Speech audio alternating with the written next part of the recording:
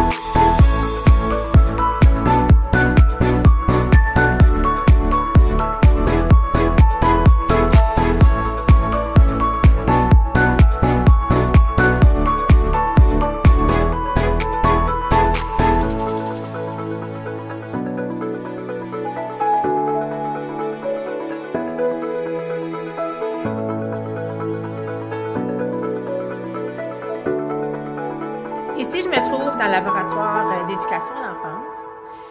Le programme d'éducation à l'enfance s'offre en face à face, mais il y a aussi l'option de le suivre en ligne. Donc, vous avez le choix des deux.